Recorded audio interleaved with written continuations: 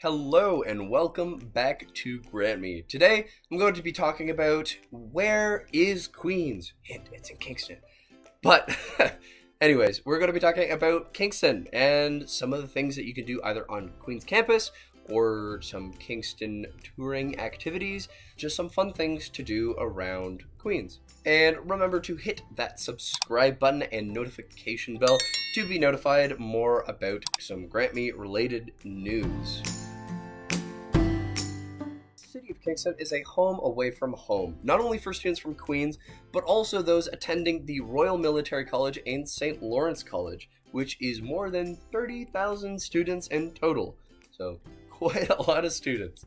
Quaint and eclectic, Kingston is big enough to provide all the conveniences of modern life and small enough for students, staff, and faculty to feel instantly comfortable and at home. Kingston is located in eastern Ontario, where Lake Ontario flows into the St. Lawrence River. It's about 200 kilometers from our capital of Canada, Ottawa, around 250 kilometers from the center of our provincial capital of Toronto, and about 300 kilometers from Montreal, Quebec. Some of the tourism activities that Kingston has to offer, there is the Rideau Canal National Historic Site of Canada, which is a UNESCO World Heritage Site where you can visit Victorian towns and military blockhouses. You can cycle a woodland pathway and picnic alongside hand operated locks on the 19th century Rideau Canal. A historic waterway linking scenic strings of rivers and lakes. Quickly constructed in a time of military threat, the length of the canal is now a diverse outdoor playground where history mingles with the mellow eastern Ontario countryside. Next, we have the Thousand Islands region. Catch the sunrise on the Canadian side of the St. Lawrence Seaway, or end with a breathtaking sunset from the US. Maybe it includes views of storybook castles, a good fish story, a tale of craft beverages, or a trip back in time.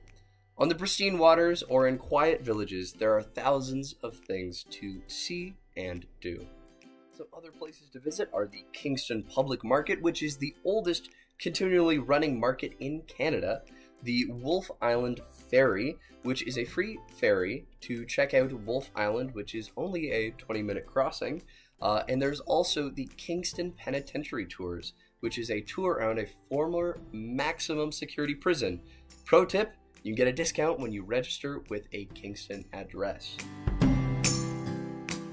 Let's talk about some places to go near campus shopping, movies, theater, dancing, eating. Kingston may be a smaller town, however, it is full of activities. Some highlights include going to Lake Ontario Park, Kingston, expertise for mini golf and a driving range, and there's also Fort Henry. and did you know that Kingston has the most restaurants per capita in Canada, and it's only second to New Orleans in all of North America? For sports and concerts, we have the Leon Center, which is a 5,000 seating multi-purpose facility focused on major touring acts and sports. The arena has since hosted several concerts and entertainment events by artists including Elton John, Avril Lavigne, Neil Young, Cirque du Soleil, Deadmau5, Jerry Seinfeld, Bryan Adams, Bob Dylan, Willie Nelson, Carrie Underwood, Brooks and Dunn, Leonard Cohen, Reba McEntire, Billy Talent, and Sting, among many others. Their main talents are the Kingston Frontenacs, a team who plays in the Ontario Hockey League.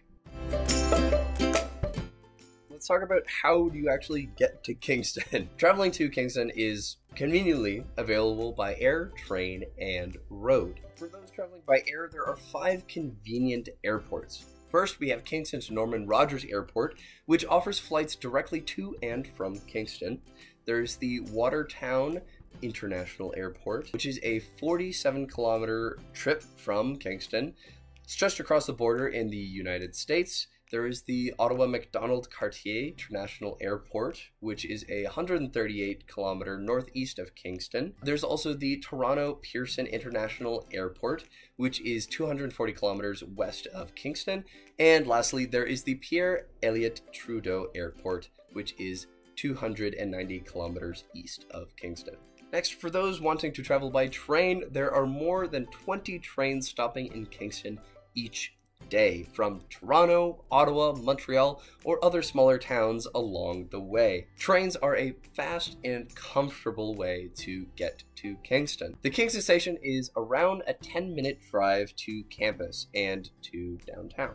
And lastly, those who are close enough to drive, Kingston is located on the shores of Lake Ontario between Toronto and Montreal, just south of the 401. When traveling to Queens by car, we recommend taking the Sir John A. Macdonald Boulevard exit off of the 401 south to Union Street. Both Grant Hall, where the welcome reception will take place, and Duncan MacArthur Hall, where the reminder of the conference will take place, are easily accessed from Union Street. Please use your preferred resource such as Google Maps or your personal GPS for specific instructions. And lastly, those who are looking to travel by bus, there is a bus terminal which is about a 10 minute drive from Queen's campus and downtown Kingston. Private bus companies such as Greyhound Canada and Megabus provide services to Kingston from a number of cities in Ontario.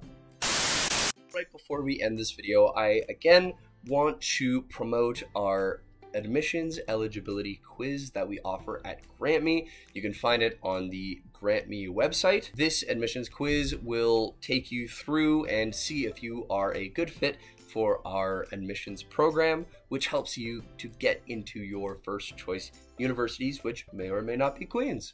And with that, that is the end of this video. Thank you all for watching and have a nice rest of your day.